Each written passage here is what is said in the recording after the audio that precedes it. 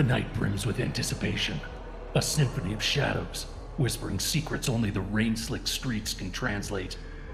They flock here to this hallowed ground of flickering neon and forgotten dreams, drawn like moths to a flickering flame.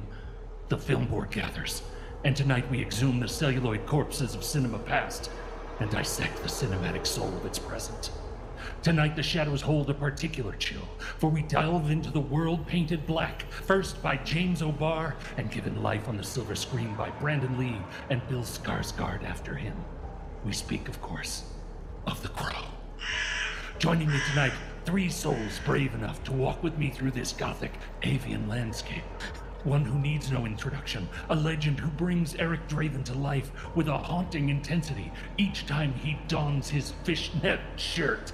Matthew Fox. It can't rain all the time. Though I am in Seattle now, so it's weird for me to say that because apparently Oh, here it feel does. You can feel it coming. Next, a rising star who, rumor has it, is set to take on the mantle of the Crow in his own upcoming remake, ready to carve his legend into the night. Ocean Murff. Uh, mother is the name for God on the lips of all children. Amen, brother. And lastly, a scholar of the macabre, a guide through the dark mythology of the crow and its many incarnations, Justin J.J. Yeager. Let our seance begin. What's the first thing you liked about me? I thought that you were quite brilliantly broken. You feel like my person. You feel like my person. What's the worst thing you've ever done? I saw things. I shouldn't have seen any of it.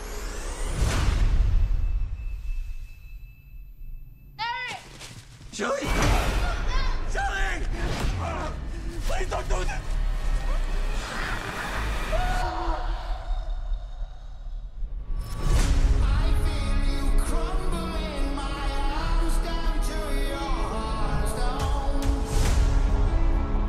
When someone dies, a crow carries their soul to the land of the dead.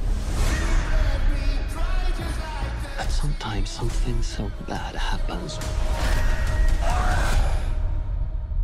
that the soul cannot rest.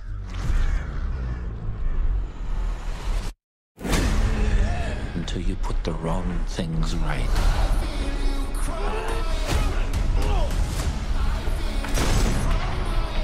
You were given the power of a god.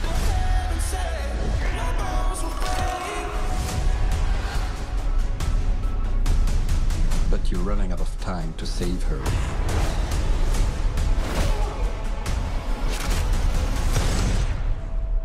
I'm gonna kill them. Every single one of them.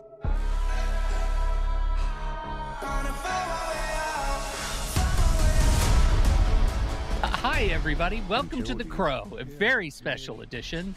Um, uh, we're, we're talking about The Crow. We're not ta- just talking about The Crow, the Skarsgård Crow, the Scars Crow. We're also talking about the original Crow 1994. So 1994 to 2024. Uh, let's go around the room and do some opening thoughts. Now, I'm going to say this was actually Matthew's idea to Thank do you, this Matthew. crossover. Thank That's you, Matthew. Therefore, I believe the honor to go first should go oh boy, to Matt. this might get rough, go folks. to Matthew Fox. So let me start by saying I was a goth in high school. Um, Nice. By which I mean, like, I did wear a lot of black. I did listen to a lot of that music. I I was an honorable, you know, responsible, respectable adult even as a teenager. So it had very little to do with how much I liked the way girls dressed in black fishnet. But like, it, you know, I, it was a culture I was very enamored with, and this movie was like definitional to us. And I have, and so I went in expecting not to like it but expecting to be like, it's not going to be the 1994 movie. It's going to be okay. It's going to be something different. And the opening shot was in sunlight. And I was like, what the hell is happening here? That's already broken. and I spent the first like 10 or 15 minutes being like, this is so wrong. But it's okay. It's a different movie. It's a totally different thing. That's okay. And we're kind of trying to find the good in it. And then I walked outside and read some reviews and was like, oh, good. Everyone else think it sucks too. It's not just because I like the original.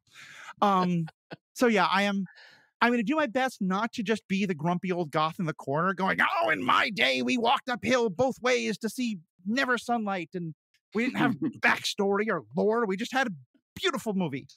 Um, yeah, so I, I'm really excited to hear other people's thoughts on it, but I will be giving some, um, you know, this, this was my subculture being represented and it was not represented well. because because Matthew, what give 1994? How old were you? You were what? What was your year? Uh, so that was my junior, that was uh, my junior year of high school. Okay, I graduated in 95. So 94 would be like spring was I was a sophomore. Uh I was this was a junior, but it was like on into college. I mean, yeah, yeah. you know, all through college, like, you know, the the the goth industrial subset, everyone was wearing the crow t-shirts, everyone Sure. was quoting it to each other. This was just this movie was definitional of of that mindset. Sure, sure. And we I this was actually one of my fundamental questions for the show because of how I felt about the movie. I thought we might take some time to ask uh in the style of BuzzFeed, are you goth or are you emo? And I think that matters, right? Uh for how you feel about this movie. JJ, what's your um what's your place on the crow? Yeah, I agree completely. And so in 94, I wasn't goth, but I was heavily into comic books. And I was very, so I was a senior. 94 was my senior year. And I really liked The Crow for what it was in 1994. And watching it back, I went back and watched it back this week, and it actually is a very good comic book movie of the time. Right? I mean, you can compare it to early Batman movies. You can compare it to those where there is a lot of cheese, there is a lot of schlock, but it does some things really interestingly, and it really is stylized in a way that's particularly special to its creative idea, which is probably why it has such a great following for those years you're talking about in college. This, uh, the 2022 24 version, I super liked. This Okay, movie- okay. This movie was made for me. What? And as yes, and I Oh my like God. this is going to be a super fun conversation because I'm not goth, but I love how they made the transition into the lore of the IP here. And again, I uh, I should say I have never read the Crow comics, but the way that this began the story or taught us the story felt like something new in a way that I could watch. And I think in a really interesting way that I want to get into and talk about is the juxtaposition of what The Crow in 1994 was to comic book movies as The Crow in 2024 is to comic book movies and how they are they should work for different reasons. But you have a frenetic pace in the first one and you have an uneven but pace with tons of room here, which I found very interesting and very different. And the one thing that I do want to say that I definitely want to talk to everyone about here is this: I am not a, a graphic violence person. Uh, even the amount of gun foo in the first Crow is a little much for me. But this movie that I saw today is the most fun I've had with graphic violence since the first Kingsman movie. And I think I think it could be better if you're objective about what's happening. And so I want to get into all that, and I'm excited to have the conversation with you guys. I am open to be swayed, Jay. I am open to be swayed by your enthusiasm. Uh, Ocean, are you? Where are you? What what team did you take? Wow. I know. okay, I am just my my mouth is literally agape. All Is right, it a so gape like I- that one guy with the who ate that katana? Is it a gape like it- that guy? it- it's a Oh, oh, it's a gape like that guy. 100. It's, uh, yeah, how, Um, so, so- Ocean, before you start, I want to say to answer Pete's question. oh yes, please, we gotta clearly. I'm emo. so now, go ahead. and, and I I would just add to that, and I'm, Ocean, I'm sorry, but just to play off on that further. Every now, I, I think there's a lot of great things that have come out of emo culture. Every now and then, me and some of my old goth friends are like, "Ugh, emo is just our ugly redheaded stepchild. And I definitely was 10 minutes in this movie. I was like, oh, this is what happens when emos remake the goth movie. That's exactly get it. what. Yes. Okay. Perfect. Ocean. Okay, well, Well, first of all, um, how old were you when this when '94 came out? well, Give us exactly, your uh, context. yes, unlike these unlike these children we're podcasting with now, I was a uh, see, my that was my junior year in college, um, right. and I you know I saw the movie, loved the the Brandon Lee movie, uh, loved it so much, went back and uh, bought the graphic novel, read the graphic novel. I uh, similarly to JJ was uh, um, into comic books. That's really what that was really more my introduction to it. Um, you know why why I was interested in it, and so uh, read that, uh, loved that. I thought it was uh, the book was actually um, darker than the movie, and I I was you know I understood the changes they made because I've actually in anticipation of this reread the book and recognized yeah you can't do the book directly as a movie. I don't know that it would work that in that format, uh, but it's great. And I um, in answer to the original question, I also uh, more identify as emo uh, because the emotional impact of the book and the emotional impact of the movie is what uh, what really drew me in and what I loved about it all. And for this movie, I went in thinking, okay, we're going to do a different crow. So let's see, let's see what they do. I'm going to be positive and want to uh, like the movie. And then after watching it, I was I honestly asked, how did this get made? and there is, I want to say, I think I can find something wrong with every scene um, in the movie. Like there's like there's, Oh, there shots is something wrong. I think in every aspect of this movie, and so um, you know, I, I while I am also interested in the conversation, I think that um, yeah, I'm interested in the conversation, but especially the other side because I, I do want to know who this is for and who would like this. And then, uh, and then, uh, and then, uh, additionally, I- also along with that, just you know, kind of what the, what, what did was it? What did, what did I miss?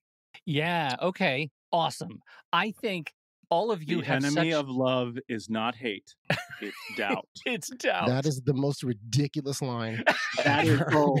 That That is is because nothing- profound. That is That is absolutely so ridiculous. profound. And and Okay, I mean, oh, even I- the I- even the I'm love on part. I mean, like, uh, did you buy it for a second Be- that they were because in a movie that tells thing? us that two people in either rehab or massive emotional damage are very much in a place to form lasting emotional bonds yes the idea of love with no doubt whatsoever is the really oh my god every mental It's therapist i've ever met would have Comic cringed It's a comic book. dude, I the idea of the having a mass gun battle outside of an opera is also not realistic, but it's really fun.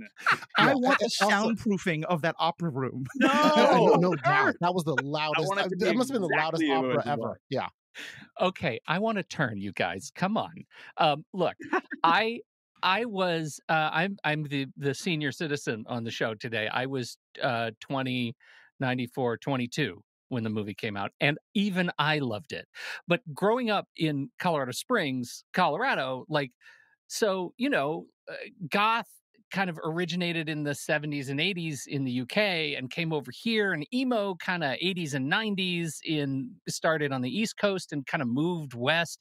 So I kind of feel like we got it all. Like I was a massive fan of Bauhaus and Peter Murphy's uh, solo stuff and uh, who else? Siouxsie and the Banshees and The Cure. My god The Cure. Oh goodness. But also Sunny Day Real Estate and uh, uh, Rites of Spring and who are some other emo bands like My Chemical Romance. Like I like really defined my identity around a lot of the music that I was listening to through high school. That and so when I saw this movie and I start hearing the music of this movie, it put me in a zone that I thought, okay, this is a movie that I speak the native language. I I know the native tongue of the the uh, of of this film of the original Cure, and so the movie I thought was perfectly balanced and written in such a way that gives us a, a pastiche of the the time that holds up today almost as a museum piece of of the emotional resonance of the the early 90s late 80s early 90s and I love it for that. I love what it stands for. And then I get to this movie and I find I'm not as much an overt antagonist of it as I am a Casablanca. Uh, this is a Casablanca one star film for me. What does that mean? Uh, it's you despise me, don't you, Rick? If I gave you any thought, I probably would. I this this movie I found 90% of this movie insufferably boring. It was some of the worst dialogue, worst scripting, and I checked my phone in a dark theater four times in this movie and I am not someone who does that. I was so bored in this and I saw it in D-box. It was shaking my ass around and I was still bored to tears until the opera sequence of just exuberant violence. So I I struggled with the identity of this movie, and I feel like I come from Crow people, right? And and I'm I should say I'm not a, uh, a graphic novel person. I still feel like I come from Crow people, and I I don't I don't understand the this movie's place. Uh, Can we just just real quick give for those who do know the comic? Can you give us a uh, a just a brief sort of backgrounder on what we should know about the comic, if anything, to to be able to judge source material? Does that That's make sense as a question? Do, Mhm. do you want to answer that, Matt? Matt, do you want me to? Uh, I, I can give it a shot. I Okay. I haven't read the full comic, but I've looked at a lot of it, and I have a lot of friends who talked about it. And the way one person said is this that the original captures the aesthetic and the vibe of the story. This has more of the actual story itself. Um, but it felt one one friend said this felt much more corporate. It felt very polished and like kind of a a very well produced. When the whole thing, I mean, the the original comic is a lot of kind of like, you know, it's not like the the black is not like even paintbrushes. It's like someone has taken a pencil or a pen and script, you know, just scribbled back and forth to make like blacked out areas. Um, but I think my understanding is that a lot of the story, like a lot more of the backstory of how these two fell in love, it's been somewhat modernized for this, but there is some elements of that that um you uh I, I think more of like the craziness of the villains is m- more true to the original, but there being this whole kind of like supernatural aspect to the villains has some some resonance in the comics. That's about the- all I know though. I can't say I'm an expert. Yeah, the, so the graphic novel itself is much more the the villains are the ones from the movie from the original Brandon Lee movie. Uh, they're random guys. The the relationship has is done similarly to the movie where it's done in back uh, in flashbacks. Uh, the crow, the one main difference, the crow in the comic books does talk to Eric Draven, and then but it is a, a basic straight ahead. He's he's he becomes you know he comes back alive. He doesn't know what he is. He just goes through and he's avenging the wrong that was done, and then the the wrong that, that was done was uh, random. And I think that was one of the things that uh, the book has in it that was not portrayed in either movie. In that the the way they were killed and why they were killed in the book is horribly graphic. You could not do that in a movie. Um, yeah, and so, but it was the the way that was done. It was it was a random act of, of basically a bunch of guys that were high on drugs and they just decided to then kill and gang rape this woman, and and and kill her. And so, and also, unlike the original movie, uh, Eric lived the thirty hours and then died, uh, where Shelley died right away. And uh, beyond that, the, the the revenge plot was much more uh, a much more of a straightforward. He was getting back at the people that had had wronged them and so and so that was that was what it was and the driving force was much more of his emotional uh, journey of trying to not only get through at least for me I, since i'm i was more emotionally invested in it it was his journey to get through uh, what he had to do in order to get back to Shelley because that was all he wanted to do he wanted to kill these guys and then and then get back to Shelley But I think that's a really important point that uh, uh, I'm sure we'll get into later is that there was nothing noble about what he was doing. It wasn't a I'm trying to save her from a better place or sacrifice. It was pure anti-hero revenge.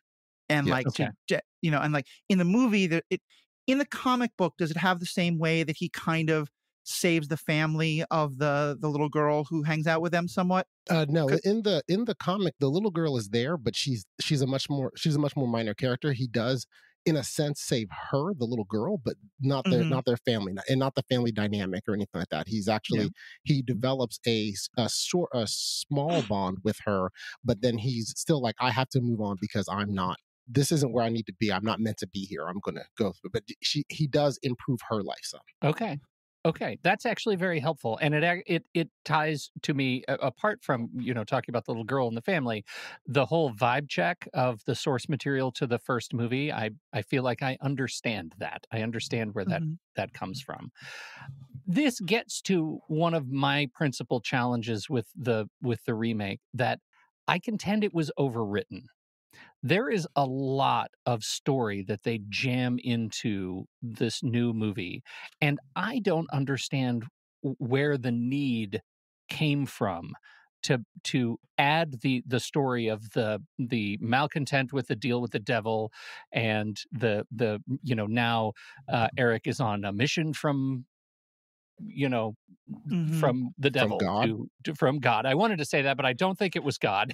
it was technically, I on a believe, from. Kronos. Yeah, Uh, it's, it's it's the Blues Brothers.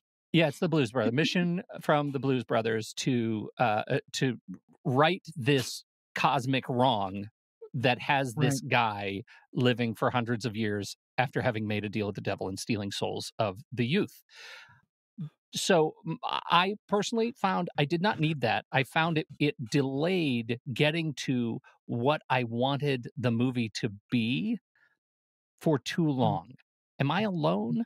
if I can suggest this, I think there's two ways to look at it. One is in terms of this movie and how it relates to the comic book. The other is how it relates to the first movie. Mhm. And so let me talk on that first one a bit. We can respond a bit and then move on to the second one.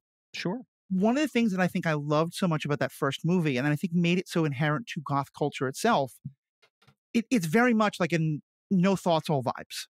Like there isn't backstory, there isn't lore. Um, we open with the scene of them being killed. Um, there's for today's sensibilities, way too much of the essay that I would have liked to see, but like still, you know, that was the time. But and then it's like straight into the violence and it's straight into the and there's no for me, one of the there's a great um sort of meme I saw a while ago that said punk is the world is broken and I want to fight it, fight it. Goth is the world is broken and I see beauty in it. Ska is the world is broken, but I have an effing trumpet. Um, which I love is the breakdown of those three that and the holds up. goth, the goth part of it being like, yeah, but there's still beauty in all this brokenness, but we're still aware of all the like. So, like the the bouncy goth, the happy goth, it seems like such a contrast, but it actually was a big part of it because a lot of it's Mhm. about how can we acknowledge the brokenness, and that's why. Ocean, I love what you said about how the killing is fairly random, because that I think is a big part of it. Is that tragic tragedy hits so many of us, and there isn't a reason for it. It's not because we're part of some big epic plan. It's because just stuff happens, you know? A bus hits someone, someone gets cancer and you never would have expected it, you know? These things, you know, you fall and you break your leg and, and healthcare destroys your family. And so the movie having just this kind of like the utter beauty of the ridiculousness, because I think that's the other essential part of goth culture that a lot of folks don't really understand is that it it takes itself seriously, but in a like we're taking ourselves so seriously that it's not really serious. We're kind of laughing at our there's very self-deprecating nature of it. And so to me, like the defining image of that movie is when the last big bad, who I think is Guy of Gisborne from um the Alan Yeah. Rickman Robin Michael Hood, right? Michael Wincott, yes. Okay, thank you. He has this fight with with the crow on the roof of a church, and he falls and impales himself on a gargoyle. And all of a sudden, all the blood that's apparently running down his body at an incredibly fast rate is coming out of the mouth of that gargoyle. Beautiful. And it's to me, that's the idea. Like it's, not supposed to be realistic. None of this is supposed to be realistic, and that's why it's not supposed to have a moral. It's not supposed to be that he's a good person for doing this. The the good. I think the best thing he does, as I said, is to help get that mother off drugs and put her and the little girl back together. And that's kind of accidental to everything he's doing. Um. So yeah. So just that's from that perspective why I think the the underwriting of it is a really essential part of what made that first movie work. that that's interesting that that we would say that and i think that part of that kind of leads into my point from the intro that i wanted to get into which is that Sure. juxtaposition between a comic book movie in the 90s versus a comic book movie to, to, to today Yeah. and i would challenge you all if you wanted to see it again it doesn't sound like you want to see it again so i'm not actually going to advocate for that but the concept of the overwriting here or the concept of the slow pacing or the boredness that you felt in there to me really felt like a breath of fresh, fresh air when I'm comparing it to superhero movies today. In that, much of what's happened as we've accelerated through more and more superhero movies, and especially in origin stories, we tend to accelerate all of the parts that would be story to some sort of shorthand because we kind of understand what heroes are. And if you watch the original Crow, we were getting some of that too in 1994. It was like Matthew said, it was beautiful to say it is all vibes, no meat. I don't remember what you said. 99.9% no. plot free. Right. So there that felt like potentially something new in 1994 and it and it brought something here. So now we're getting into this sort of especially in origin stories, even comic book movies that I love, like Shang-Chi for example, or something where we're just getting quick hits of quick quick plot, quick background so that we can jump into the story. Well, this movie did not do that. This movie sat on the relatively short but meaningful love story, you know, between these two flawed, trauma bonded people, and uh, got into it, but gave us the story between them, gave them the the conversations between them that allowed, well, at least for me, to take the leap with them and say. That this was a meaningful thing to them. And because they were two broken people, to be able to take that leap and for Eric to be able to make the commitments that he makes later on in the film, I really sort of believed it. So I get this sort of juxtaposition of what I expect a comic book movie to be today. This subverted that. And it didn't do it in a completely negative way for me. I expected to be more shorthand. I expected it to be that way. And I actually appreciated that they took more time with it. Now, we can argue whether they did it well, whether they executed it well. It sounded like you guys didn't feel like they executed it well.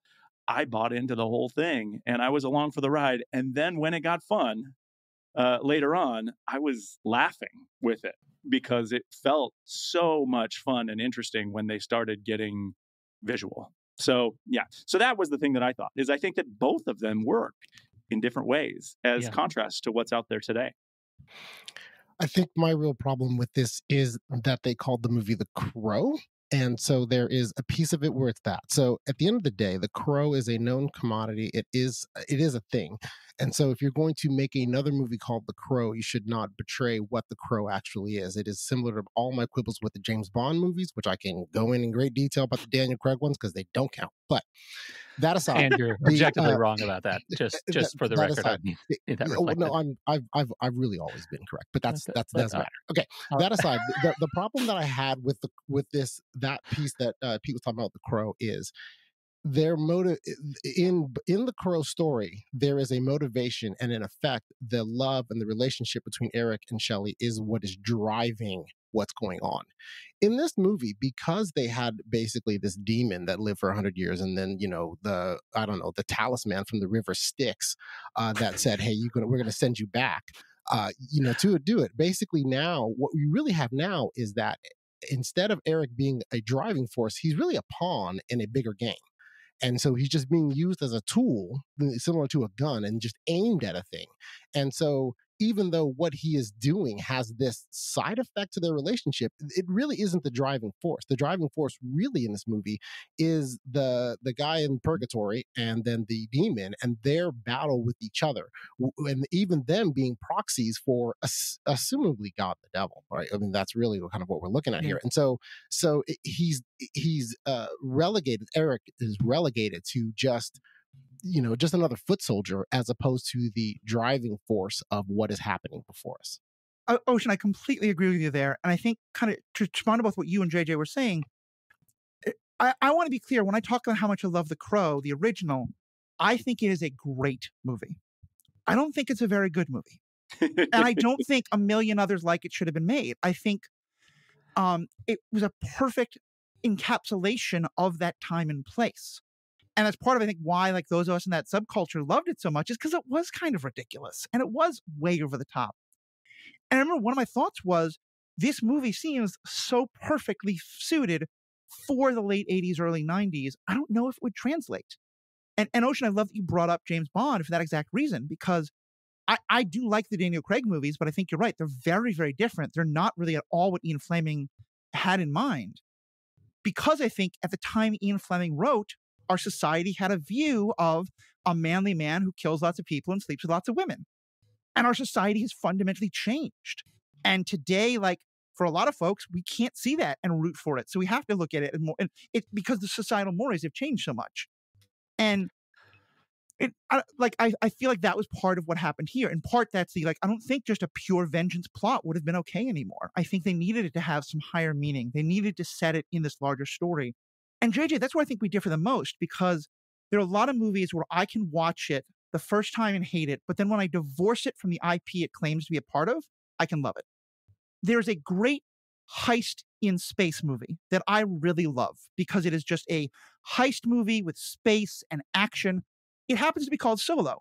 I don't think it has anything to do with Star Wars. There's a really fun knights and armor and romance movie called First Knight. It has nothing to do with King Arthur and Lancelot. Um, and I think Ocean, that's what you're saying about like, if, to me, if this movie had been called something different, I would have been interested in it. But I think the last part is all those movies I could find something to enjoy. JJ, you were saying that this movie has too much of like uh, the original just noted these things. This one tells it. That's not what I got because I could see a whole movie about two people who meet each other in the most broken of circumstances and find love together. I could see a movie about this broken purgatory place. And Ocean, what you were just saying about this battle between God and and whatever the purgatory is. Or I could see a movie about like this demon worshiper who's killing people to keep like and the movie indicated all three of those, but it didn't actually tell me much about any of those three things.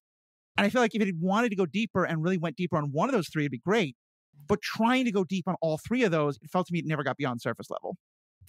What's what's interesting to me about it is this movie, you know, opened with the my experience of it opened with the trailer to Joker Folie à Deux, and that relationship, the Joker Harley Quinn relationship, is the relationship I felt like they wanted to give uh, uh Eric and uh, Shelley right? Like broken people coming together and finding something in each other that that they connect on. These are protagonists and those are antagonists. Yeah, but still, they look more interesting than what I got in this movie's relationship. Frankly, I found uh, I love FKA Twigs as a dancer, and I'm not sure this was great material for her as a performer.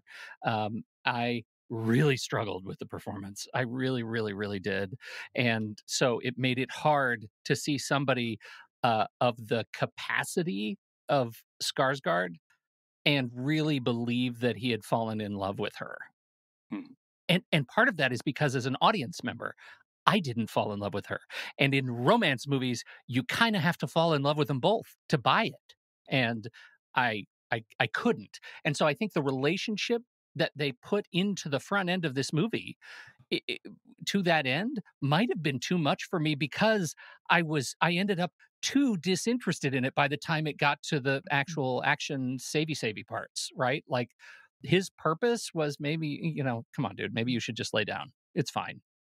Bad stuff happens. Wait, I wanted him to just wait. sign it off. Did, did you guys really? think they were tr- yeah. they were trying to make us believe it was a real romance? I did. Yes. Was it not? Yeah. Oh, I thought the whole point was that he was like incredibly broken, self hating, and she was too to some extent. And so what they had was like never he- healthy in the slightest.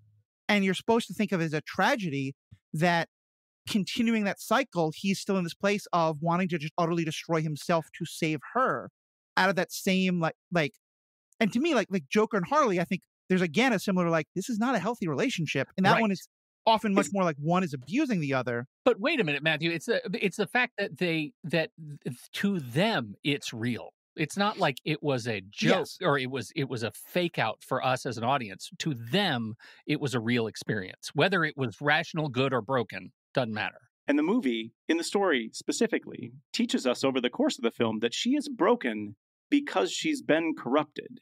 She is a good person who has been corrupted to be broken. This broken person chooses to give his soul in exchange for hers so she can live the good life that she deserved to live. It's actually a very powerful story, whether you believe in the love story or not.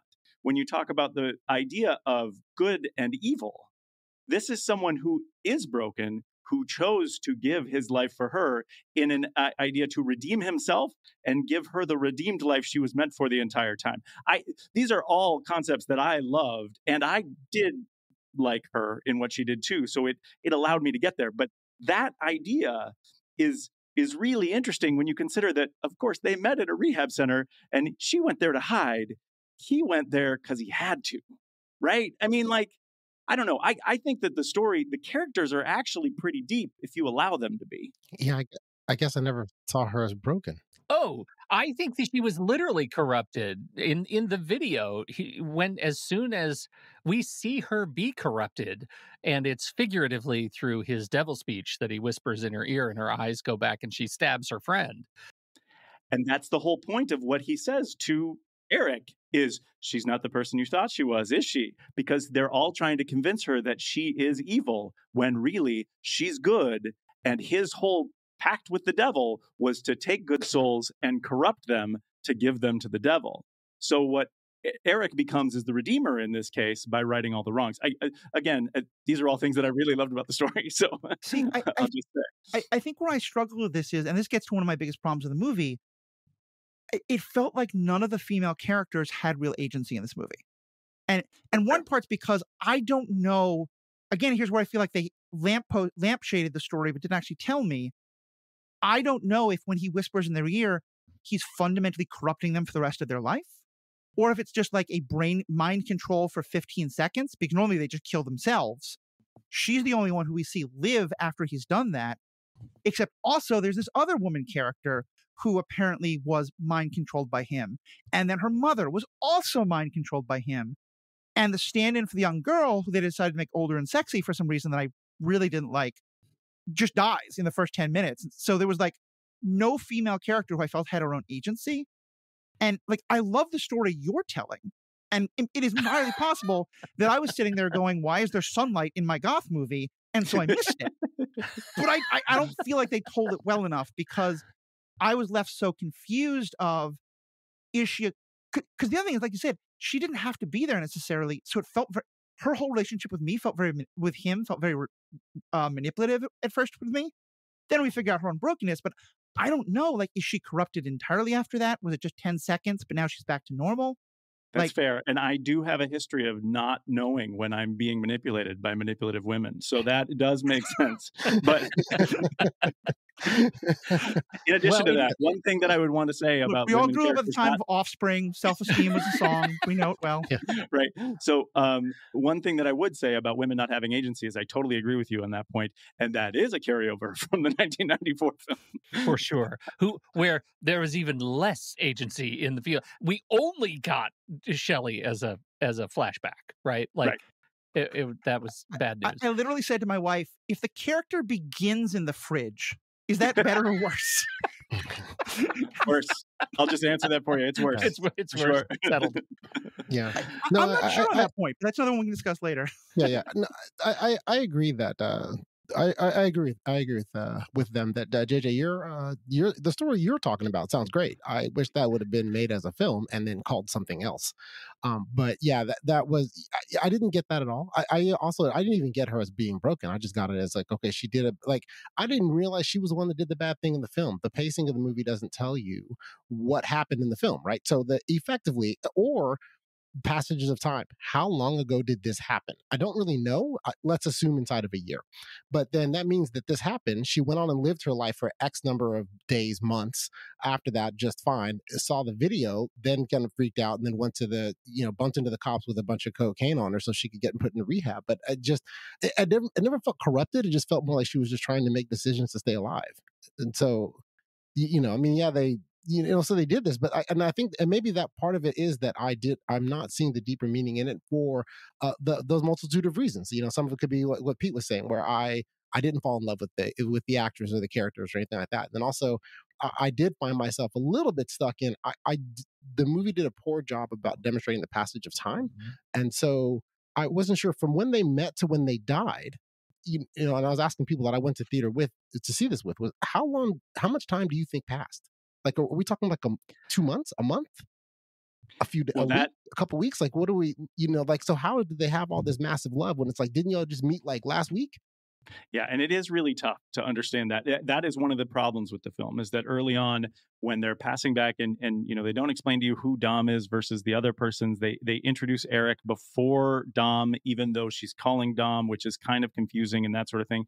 Time is an issue, but that's one thing that I will say is also a carryover from the first film in that time is squidgy right and they play with it that way um in it feels like for me it felt like it was on purpose but i can definitely feel how some story elements were lost because of that I would say I would I would counter. I don't think it was. I don't think the original film was as squidgy as this one. Right? Like the event happens, they die. A year later, he comes out of the grave, and then everything happens pretty linearly. yeah i think they specifically say it happens within 24 hours and and so that's that was the thing like this movie i i feel like there isn't there are a couple of montages that play with time and come out of the montage in an uncertain present that that i Yeah. think can can be confusing I think that's Yeah. my that's where I take it. And this is a really interesting thing. Like here we are with a reboot of this movie that gives us more this may be the problem that I'm bringing to it. And I think what you're talking about JJ is I I take it well. Like I, I understand. I came into this movie with the baggage of already having an origin story of the Crow of Eric Draven. I already have it, and they gave me so much more origin story that I already had. Right, like I already had the sense because I already had the vibe, and maybe that's part of what I found uh, difficult to um, to adapt to, and and what caused me to just be bored because I felt like I could see around every corner. I could see every corner. and, and I guess that's just to add on to that, at least what I'm what I think I hear you saying because I'm I was thinking something similar was uh, because it's the crow, the story doesn't start until they die. So Yes. when they're showing me this romance, I'm just sitting there waiting, like, well, when do they die? When do they get killed? Yeah. Like when when does because to me that's when the story starts. You know, all this other stuff was just you know, Yeah. so they really could have done it on flashbacks, and so that was my. I, I- found that that also helped. That also hurt me as far as getting invested in their relationship because I, I because because of that because I am thinking okay we're not at the beginning of this movie yet. I, I mean, I'll be honest. I spent the first few minutes of the movie, like again, some Sunlight just threw me so much because it's so against the aesthetic of the first one. but even more when there's like this boy on a farm with a horse. I literally thought, did they start playing a preview by accident, or did I, No. I'm like, am I literally in the wrong theater? Because a I showed up like, um, I, I ran into the theater like, you know, the previews were halfway through. I was late. I literally thought I was in the wrong theater because I was just like, what in the world is happening here?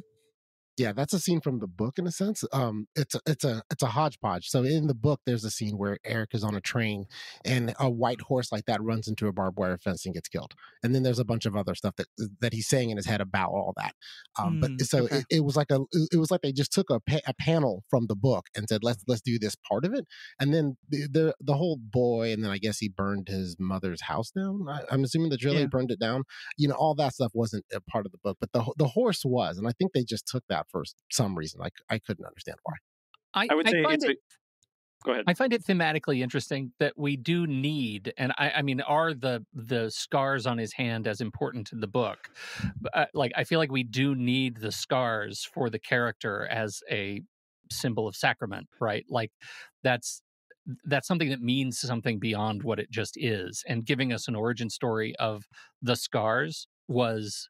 Uh, to me, that was a powerful opening. Sorry, JJ, I cut you off. No, I agree with that too, and I think it's a good point to say that the one of the interesting things about the first film is that the story begins with their death. But I would challenge you on that to say that if you made a film with the first third of it being the majority of flashbacks today, I don't think it would play as well as the flexible minds that we had in 1994. I think there would be a lot of complaints about that. And I mean, the concept of us buying whether or not they're in love is completely on the fact of we spent time with them and so we're calculating the time they were together where in the first movie they just told us that they were engaged so we created an entire story by ourselves in the first one to say they were in love whereas this one we're judging the story that they told instead so i don't know it's Very good point. Very it's good an interesting way to look at the two things there I, oh, well, I mean, one of the things that was coming to my mi- mind is that this movie seemed to think it's better to tell than to show, because that's Yeah. the thing is, if you just show me two people who are engaged, I assume they have a healthy relationship.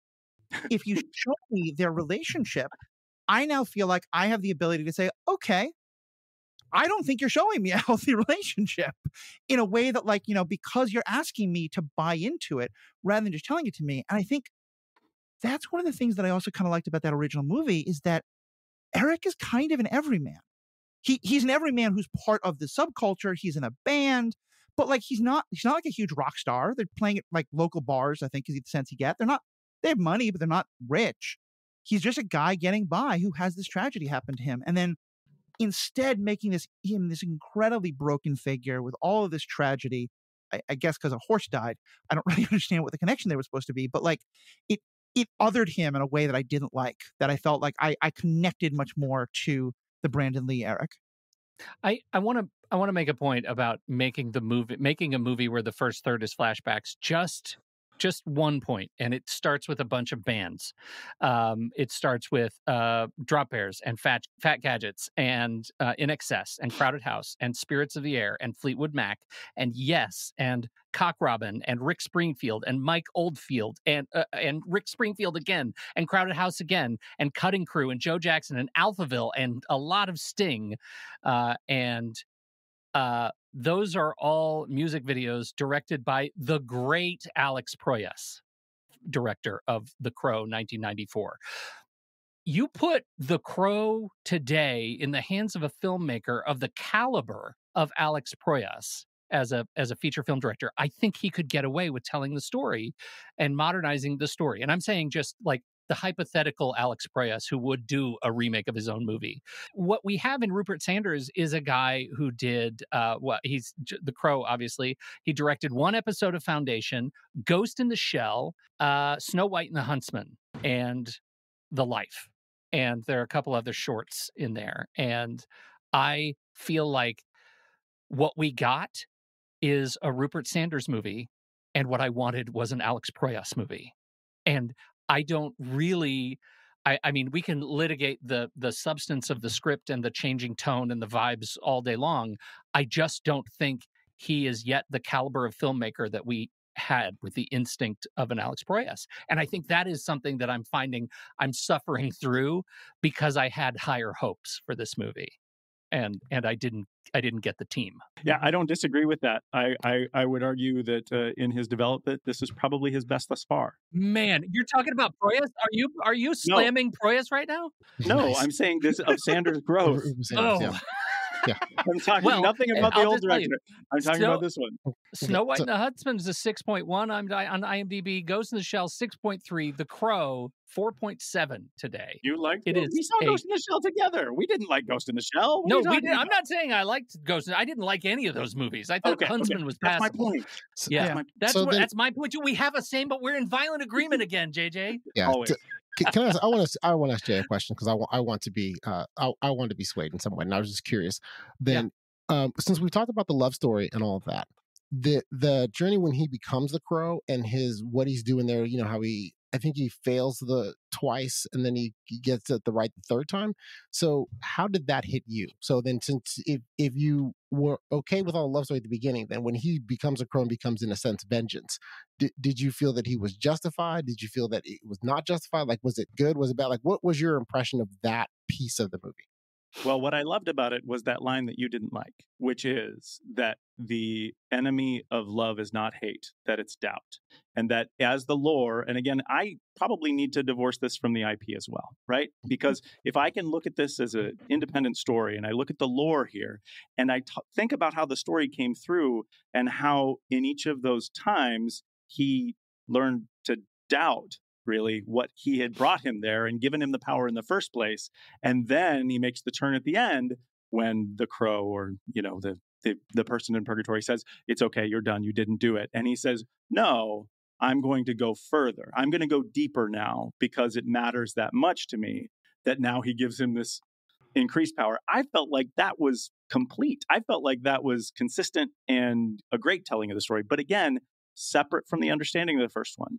There was some point in the film where I let the first one go. And I like the first one a lot. I watched it again this week, just mm. leading up to this. I think it's great for its time. I really like this one too. And I feel like that mm. story works for me.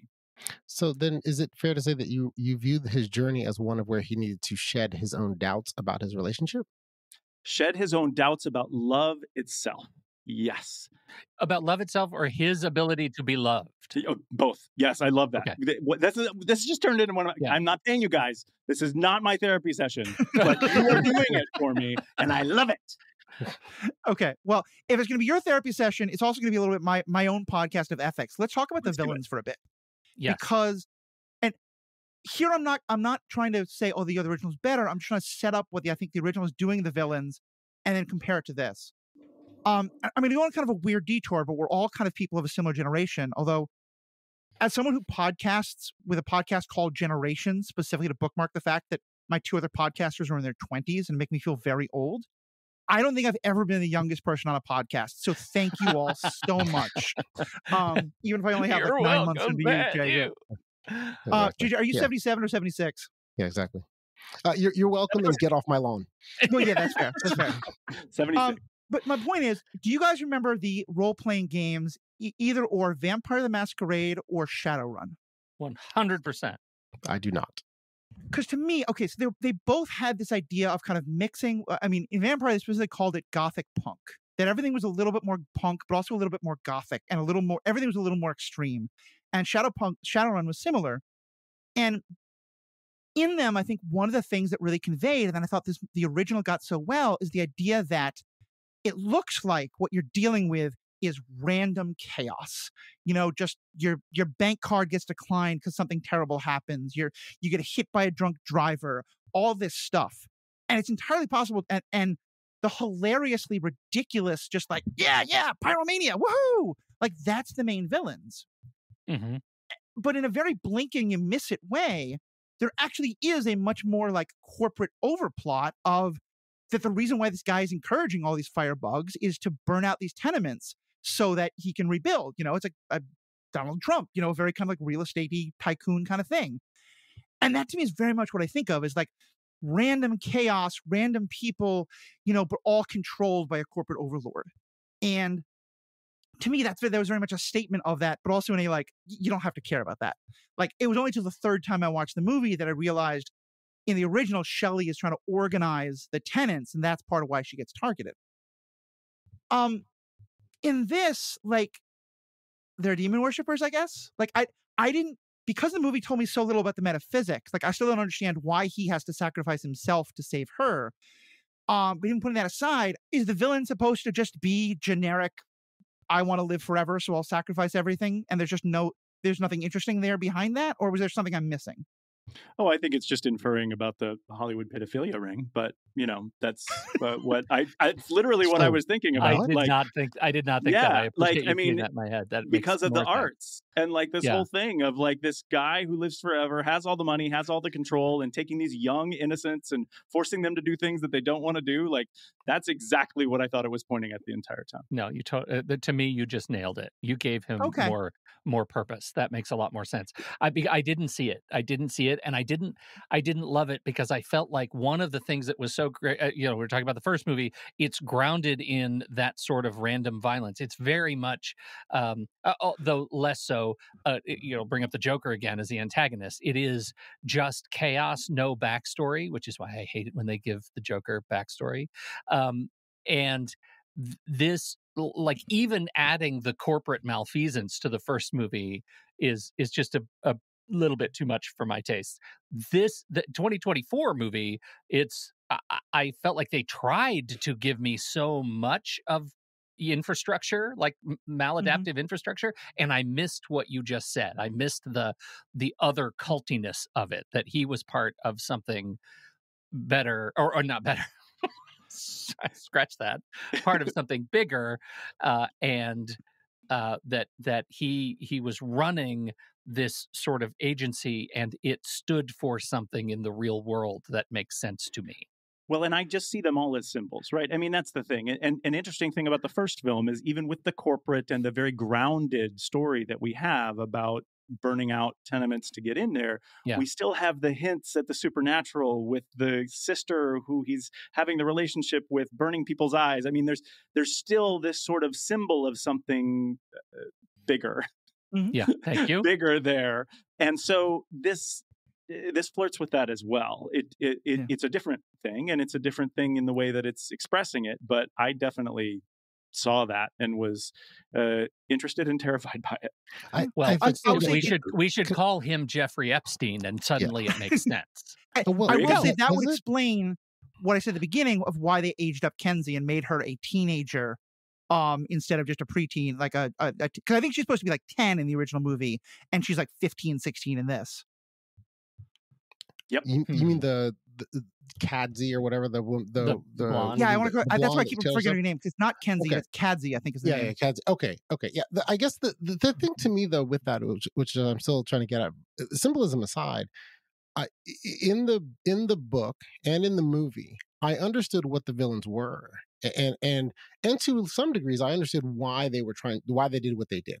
Um, the one area where, which I, I will just uh, briefly say as an aside, that I I don't like about both movies, uh, juxtaposed to the books, is both movies indirectly make it Shelley's fault they got killed, and in the book, it's nobody's fault. It's straight random, and so and I, and I think that that's part of the power of the story. But in this, though, I did not understand in the new in the new Crow, why are they trying to kill her? I, I- just I never really understood that. E- even when you see the video, it's like mm-hmm. okay, so he whispered something in her ear, she stabbed mm-hmm. someone, and then he you know consoles her, And so, and I was like, a dude with that kind of money and power, look, any lawyer can get you out of that. So, like, what do you, like, you know, it's not really, there's a reputational risk, I guess, maybe, but other than that, not much. And so it's like, why are we killing them? And why is all these people uh, this this determined to kill her? I, I don't understand even why they're the rest of the people are doing what they're doing. So I don't know. Did you see something there that I missed, like why they're doing it?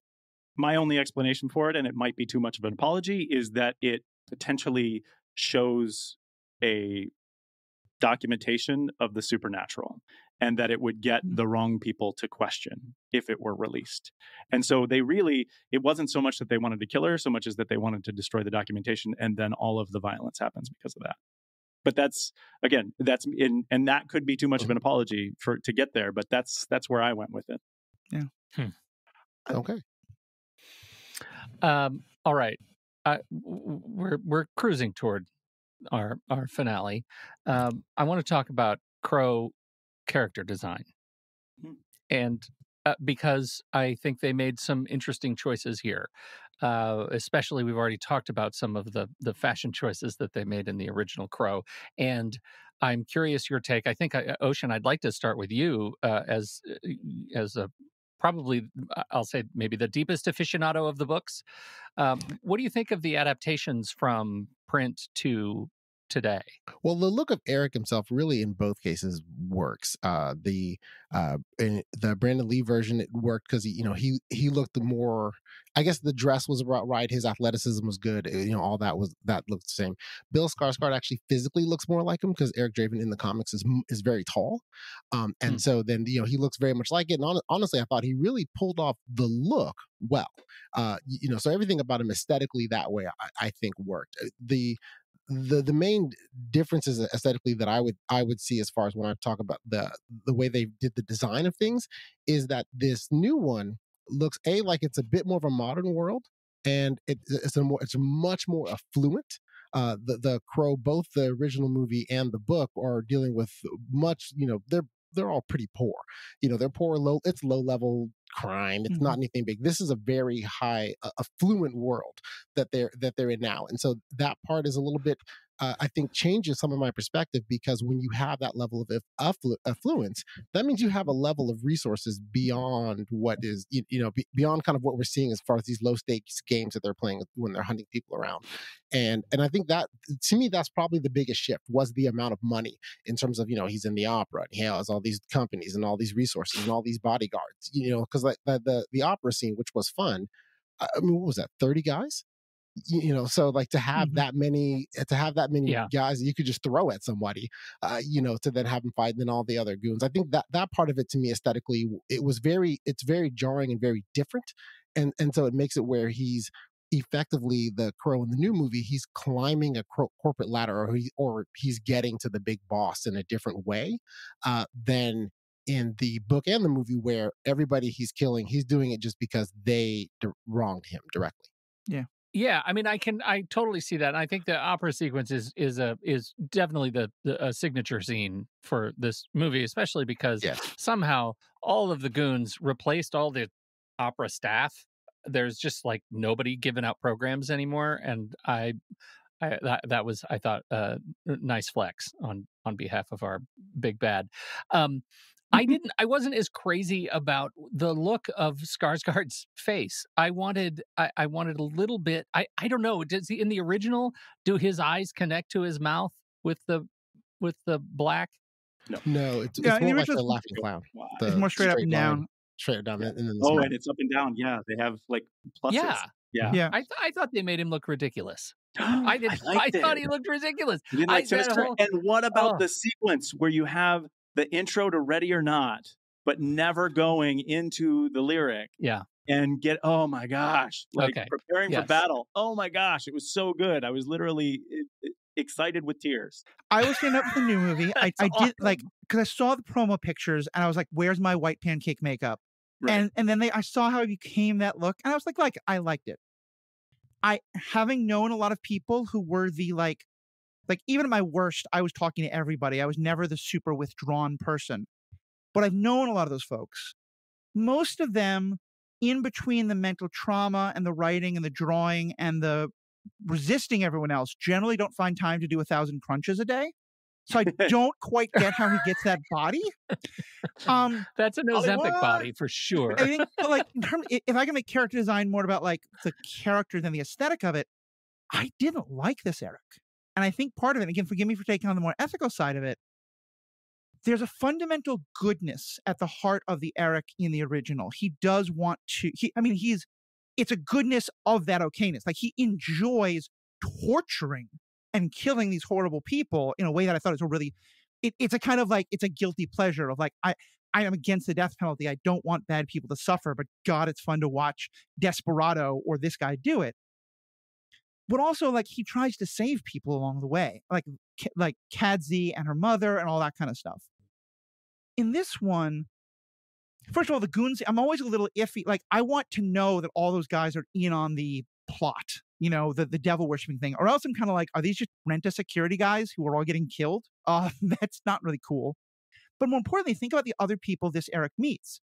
He meets Dom, who is just as tied up in this, and Eric is just kind of like, "Oh, well, you're a dick, okay," and then we just walk away from him and have no idea what happens to him.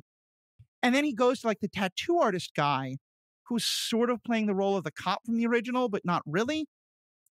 And like the guy is there and gets killed while Eric is just like, well, yeah, I just don't really feel like I can fight. And it's only until he finds out that, you know, his uh love, I say in quotes, but other people buy it, that's cool. But um is in danger, her soul's in danger, that that's what awakens him. And I'm like, dude, the guy who you, has been helping you just got killed in front of you and you did nothing about it. To me, it's Yeah. part of why I also don't believe that it's actual love in any way, that it's just to me like, like not psychosis, but like a desperate person grabbing onto anything they can while they're in a very bad mental place. But it just it it, it made it to me him feel very selfish of like this is the only thing he cares about. To hell with everyone else. I don't. I'm not going to ask who these other people are, why I haven't killed them, get in the way. I, it, it was much more self-focused in that way. Whereas I felt like the original Eric is just a better person.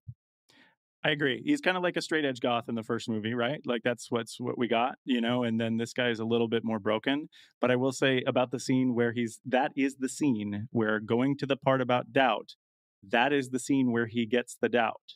So when he doesn't fight, that is the moment where he believes he's human again. So he doesn't fight because he believes he's human. And then when he comes back, when he decides to take the big step, that is that part of the movie. So I bought into that, and I actually believe that he that he did care about the friend. I just don't think he could thought he could do anything. But but I totally understand your reading of the situation as well. I never understood how he had a friend. I thought he had a friend by way of her. Like they weren't really friends, but she was friends with him and the TikTok of that whole thing doesn't make sense to me. Like, I mean, first off, the body part, I just took that because I was under the impression he was in the institution his whole life. Um, I I wasn't Oh, like yeah, I, I I was from because he's he the, he starts as a child and the next time we see him he's an adult an adult in the institution. So I just figured he was just there the whole time Yeah, I, he I thought the dead horse just fundamentally broke him, and he was in right there. right and he burned the house he burned the house with his with his mother in it down or the trailer down and then he they institutionalized and he just been there his whole life. So that that to me explained the body because I was like, well, what else has he got going on? Well, then what was the scene when everybody was trying to get him to fight him at the beginning as part of the therapy? Why would they have done that? Like, I guess that was informing me of the fact that he was running with a bunch of guys and was doing a bunch of things and doing bad things. Like, Oh, that's what I I- believed there. But I just looked at that's, bu- as bullying on a prison yard because he wasn't talking. yeah, I Yeah, didn't I think think that was part of with it. How was that part of therapy? Did I miss something? No, it wasn't therapy. It was, it was at the very beginning. These guys were bullying him. Yeah, they, but they, were were in trying the to get him to overcome his desire to fight. I don't think it's good therapy, but that's what they were trying to do because he was such a bad actor that they were trying to that he was in a place where if he was to act badly that he couldn't that nothing would come of it. So they were trying to push him over the edge and he was trying to show his discipline in that regard. That's really interesting, JJ. I can totally get that read, and I think it's from a uh, a production standpoint, from a narrative standpoint. It I didn't get it because I don't think I ever got a sense that he had trouble w- holding into his onto his rage. Uh, Like maybe had I seen him have to overcome that, like by losing that battle and actually fighting, it it would have made more sense. Totally fair. Uh, yeah, I think there Um, may well be a universe in which there's a five-hour director's cut which goes into all the more detail, and we all have to bow down to JJ. As just slow. seeing like all the things we missed because like the story you're telling JJ, I think would make like a great four episode miniseries. You know, or six episode miniseries. Like, give me a whole episode about how Eric gets to be who he gets to be. Give me a whole episode about the villain. Make, give me better actors for all of them. But um, you know, then I think we could have had a, a, much better story. Well, a better script for sure. I I think that the the other thing. Okay, wait. Before Yeah. okay, but we can't jump off a script because Okay. if we're talking script and you really watched the 1994 film just recently, you cannot criticize this script because the language that they use in the 1994 script is utterly ridiculous. It is it's like it's ridiculous on purpose. It's so bad. I, I've been talking too much. I'm going to put myself in the queue that I have a lot to say to JJ, but I want someone else to go first. I I I- disagree. I disagree with that. I I actually think the script is Are more than just call me about an the ass dialogue. hair right now? I I mean, do you want? Is that our relationship? No, but that's now? the point. Like all of the all of the like literally all of the things they call each other, all of the exclamatory statements are all utterly ridiculous. No one's ever used the language that they used in the 1994 movie. Right, so- right, and also it's about a guy coming back from the dead thanks to the spirit of a crow. So, Okay, I, I- like, I'm okay. I I, agree also feel like in that era we had uh, RoboCop, very similar. RoboCop is is a classic, right? So yes. I, I kind of got with it, but what I, uh, I, I mean, I think the the script and the production of this script is troublesome because sometimes I literally think that they had no script and they just said, "Okay, sit on the couch and start improvising," because Mm. scenes would start with, "So, what's your problem today?" And Yeah. I, I mean, they're just. The- It just felt like you're bringing me into a rehearsal, and I didn't see any character, and I really struggled with some of the, particularly watching Skarsgård interact with the secondary characters. Uh, speaking on that, I I found that my problem was with the story, and I'll I will use Dom as as my as my avatar for where I I- where I can where I where I had issues. I felt that I was surprised to find out that this wasn't just a complete reshoot. I felt that there were two different stories that they were trying to smash together, and the reason why that, and this is just a, a small thing, but this is kind of where I, where I am. Dom, in the story, Shelley calls Dom before she gets arrested and then uh you know hey they're onto us they're going to find us hide get out run okay? Then then she goes to the facility meets eric has their entire love story. Then at the end they show two things. One dom shows up at the club that the club that they're at for some reason and saying shelley we have to go right now today. Now the problem i had with that was well doesn't that mean Dom's been hiding for however long this has been, this last six, eight months? Like, what's the what's the urgency and rush today? You've you have successfully been hidden, so you really shouldn't be all like a hot and bothered about trying to leave. And, and so him saying that, then I, I didn't understand that. And then uh, then after that, uh, right after that, in that scene, she says, "Let's go back to your place and we'll talk about it." And then they escape the facility together. How does he have a place? Wouldn't they be living together? They were never separate from that point on. So then I, I just felt that at that point I said, okay, I think that they shot two different movies and they're just trying to smash them together or something because because I just I could not make sense of and I wanted to give everybody the benefit of the doubt of making this movie that you wouldn't make a movie this logically coherent on its own terms and so therefore that I felt that is like maybe they shot one movie with some director or some you know someone else and then another one and then try to put them together but then everything i looked up i couldn't find anything that, that happened and so then that just blew my mind that you would have a, a, a you would create a story that eh, forgetting the lore forgetting everything else if you try to just let me make sense of it on its own terms doesn't make sense Yeah, I I had one of those like comic like I sat up straight so suddenly that I almost spilled my popcorn at the let's go back to your place. And I uh, I- that didn't make any sense. We never got an explanation of why does she have this rich friend who has this really nice place and like like there were three different explanations I could give. I think though I I do JJ completely agree with you. The script of the original one isn't good. It's great, but it's not good. and, and but let me say more. I, I think, and Yeah. forgive me, I'm gonna, I'm gonna go more on like sociology of '90s goth. I think one of the other movies you have to understand to really get that idea is the Tim Burton Batman, because that movie Exactly is very intentionally Yeah. a comic book movie.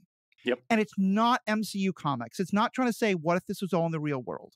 It's saying this isn't New York. It's Gotham. And I feel like every in, in the Vampire the Masquerade book I was talking about, the source book, it says, imagine if everything in the world, all the punk and all the gothic was like turned up 20%. And Yep. that's the crow. Yes. You're not supposed to believe any of this is possible in our own world. Everything is affected. Everything You are is I- supposed to believe it in that world. So I love that, and so that's my point: is that what this the 2024 film is? It's is it's an MC, MCU movie with that sensibility. but with- then you have we're to have better back to you- dialogue. With, with we're going to go back to your place, but how does he have a place? Like all that stuff. They didn't care in 1994. They didn't care how those things happened. But right. It's with that sensibility, but now it's in the way that the movies are made today. For, for me, and that's what I, the point I was trying to make is to bring it full circle. Is you were saying that we can't critique the dialogue of this without acknowledging the bad dialogue of 94. I'm Fair. saying 94 wasn't trying to be a good movie. It was Mhm. trying to be a, a thing, like a very specific kind of. This is trying to be like, what if this really was happening in our own world? And if you're going to do that, then you have to explain why he has a place. You have to tell me, you have to make people sound like they're people, not like they're bad improv actors, as, as Pete, you were kind of getting at. I, I, I see how how you would say. I definitely at no point tried to feel like this was how it was happening in this world. I felt like it was all a symbol, and then that's how I bought into it for that Mhm. sensibility. But I understand why you guys would feel the way you do too. I definitely want to rewatch it. I want to rewatch it going to a movie called The Raven. I'm going to tell myself it's called The Raven. Yes. Um, because really none of us, no one really knows the difference between those two animals. We always mix them up. Uh, and in the original, he quotes Edgar Allan Poe for the Exactly. joint idea. So I'm going to call it The Raven, and, and maybe I'll really like it again. Well, I- I'll see because I just And maybe the follow up, The Crows Have Eyes 3, The Crowening. That's right. It's a Schitt's Creek knockoff. Um, I, I had okay. to remember this is not my podcast to run because normally I would just uh, kick my group, kick one of my uh, people out of the group for a few seconds. you will kick like nothing. Fire it up! I, fire it up! Fire it up!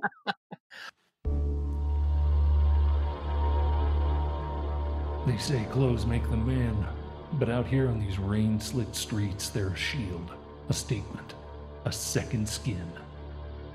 This, this is no ordinary garment. This is armor forged in the fires of loss, stitched together with vengeance. You can practically smell the gunpowder and hear the whispers of the fallen. You think you're ready for this kind of commitment?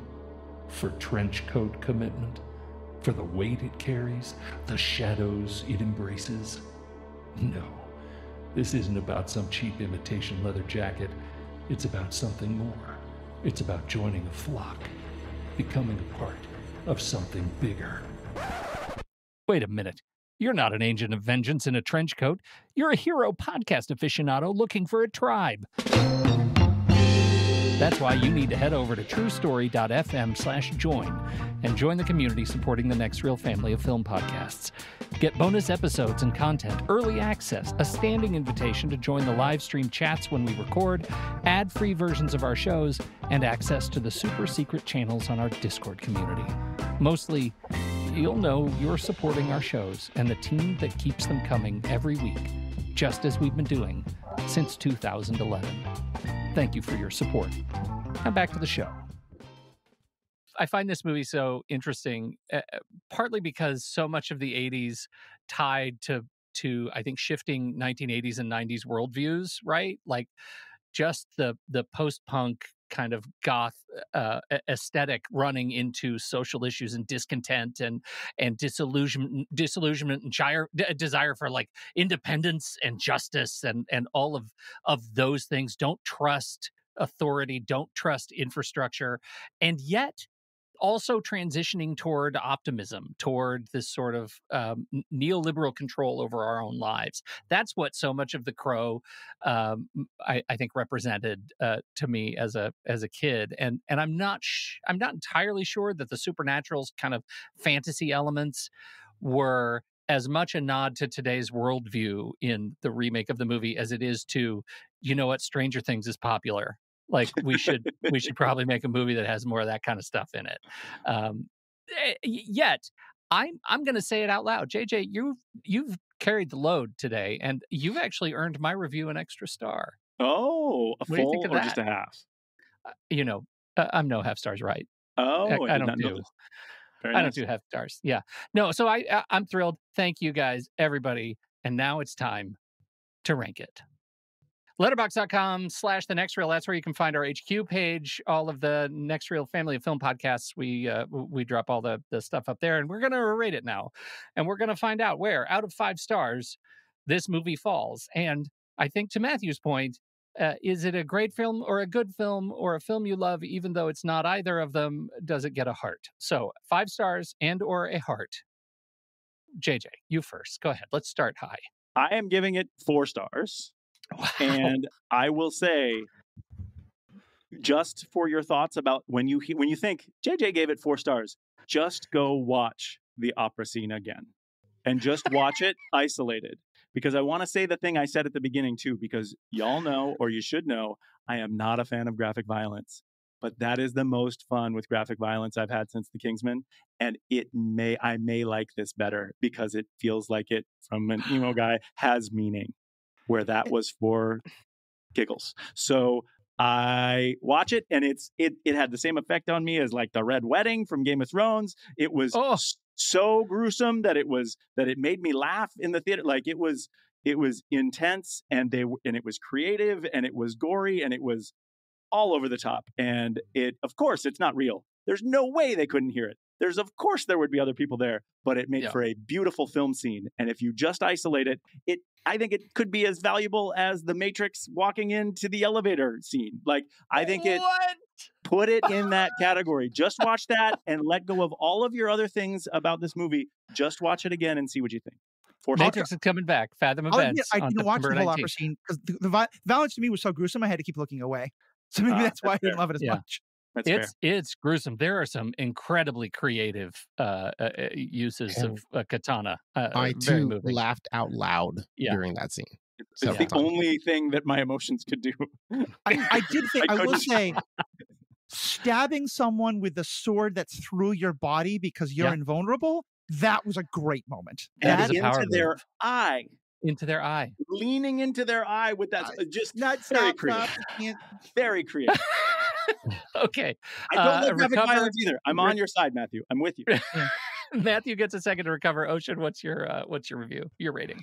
You know there's there's an aspect of this that i want to um uh, of these movies and, and book that i want to put out there. So um when you said well, we, am, am i goth or am i emo? I said emo because i just thought of that in terms of that for me the stories had the emotional impact but from the culture standpoint you guys are both talking about most of the references you, you've been saying pete about the about the different bands and stuff like that are like I, i'd never heard of them I, you know I, I, I a lot of them i don't know i don't know I, but there's a lot of references you're saying i don't know who you're talking about.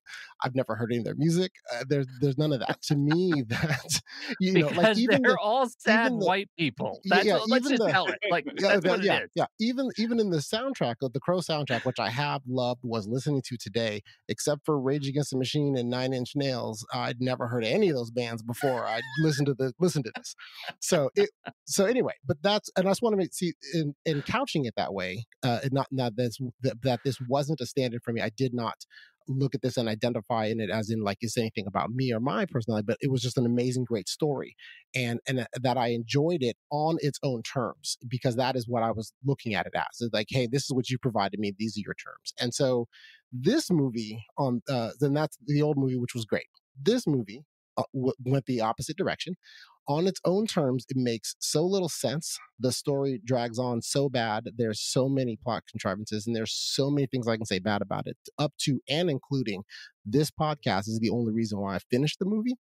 I give it one star and no heart Oh, I thought we were coming in with one star and a heart because you were feeling gracious, but I, no I get no. I've not it. not only will i not watch this again i've already texted multiple friends and said don't watch this You movie go to see it. okay, all right, uh, Okay, I- Matthew, are you are you ready? I was say I, have told all my goth friends from the, the back in those days that I want them to watch it, preferably like pirate it or so. I don't want it to get any money, so no one ever does this again. But in that kind of like, oh god, this smells so bad, you have to smell this. Um, I, and I, I will guys, admit, come look at this before I flush it. I, I will admit, I don't think, I think this was a thankless job. I don't think you can remake this movie because I do think it is such a product of that time and place. And you're, JJ, I think you're right. I think a lot of the the conceits of movie making that we were okay with in the 90s. I think probably a lot of people who didn't, see, you know, who are not, you know, grumpy old Gen, Gen Xers like us, if they saw it for the first time, would probably think this is ridiculous. I was sort of thinking there's a whole last thing I want to say about goth and emo, but I don't want to, you know, take over. But Ocean, I'm so glad you opened up that because I think it's perfect way I can explain my the fundamental thing I don't like about this movie.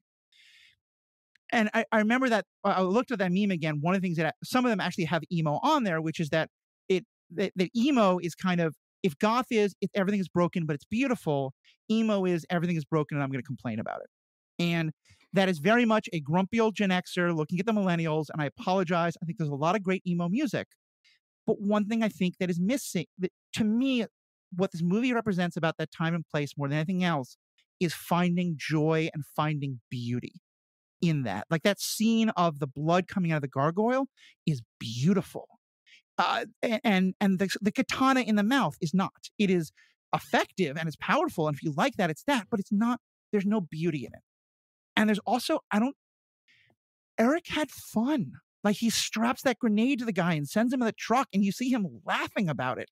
It's a sick, twisted revenge fun, but he had fun and he invites the audience to have fun. And I hmm. I never felt Eric was having fun in this. I felt like he was in this horribly unhealthy loving relationship and then in this horribly unhealthy revenge plot and then a supernatural like and then he just throws everything of his life of his unlife whatever it is away for someone he barely knows.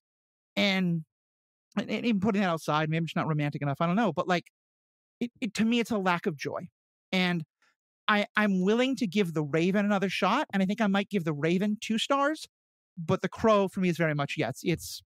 Uh, I do do half stars, so I'd probably say it's a ha- it's a half a star, and the half a star. If it was not the opera scene, it would just be zero. Wow. Well, I'm- okay. Be- Before I- you start, I Yeah. want Matthew and Ocean to go watch Silent Night.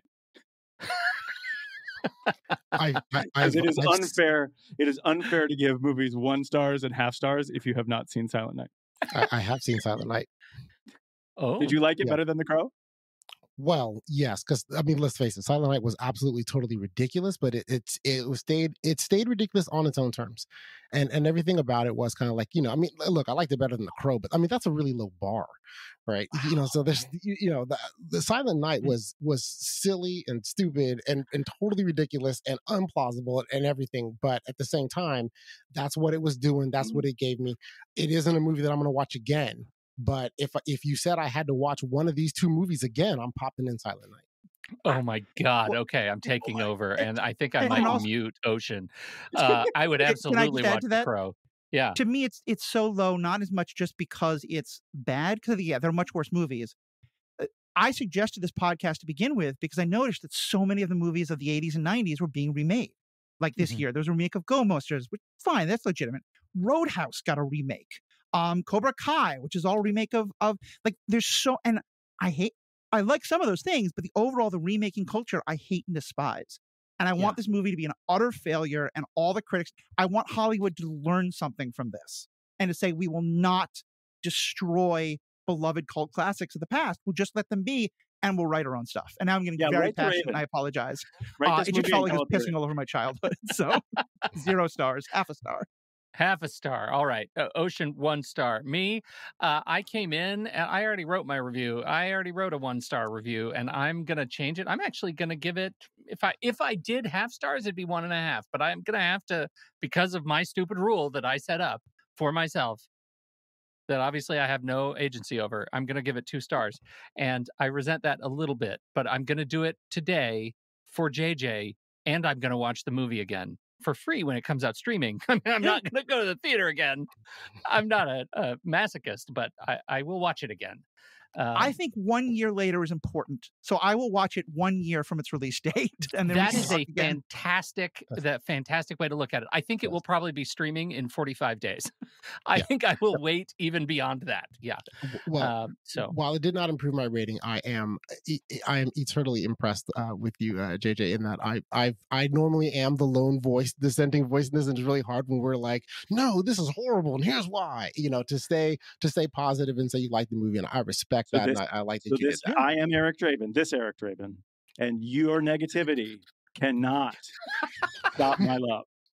it fuel, in fact, it fuels him. It fuels, do you see it? He's glowing. I choose love. but there's no love in the movie. okay, there is. you're starting a new Built thing. We're wrapping it up. I'm calling it. I will Put say, JJ, I'm it. now very intimidated to have you on my podcast because I do think you're the smartest person about movies that I've ever met, or you're Oh, completely thank you. deluded. I don't know what it is. It's probably a little both, but Because the you. movie you talked about sounds great. I want to see Yes. that movie. Yeah, I, I honestly want you to make it. I want you to go, call them up and say we're going to redo this. We're going to do we're going to do JJ's version Can we of the get I you to do a Skarsgård back. commentary I like Skarsgård. I would watch the movie with you making a. co- If you record a commentary track, I would watch that.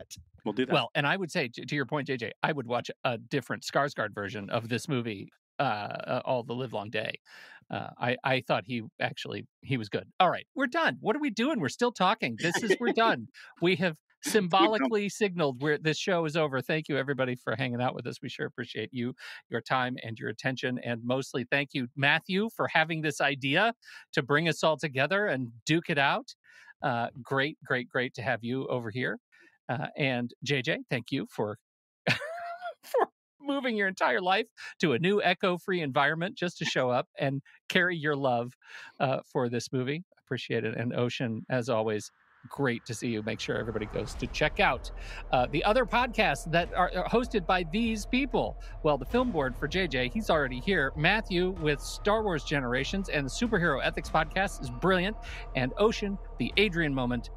Thank you, everybody. Yeah. I, I think that might be the greatest sports movie ever made. So I really want to see that. Whoa. Oh, now we really we're gonna have to have I a reaction podcast that. to Ocean's To- podcast yes, about yes, this. Yeah. Because, be yes, at, at, at- yes, because as a teaser, we opened with a conversation of is Invictus a sports movie? Right, right. That's oh, Yeah. Ocean. I'm gonna listen. That sounds so good. I'm Can't so wait. glad you're doing it. I can't wait Can't to wait. hear your perspective. Thank you, everybody, for downloading. Yeah, we're probably not gonna leave this call, uh, but I'm gonna stop podcasting about it. See you all, everybody. Meeting adjourned.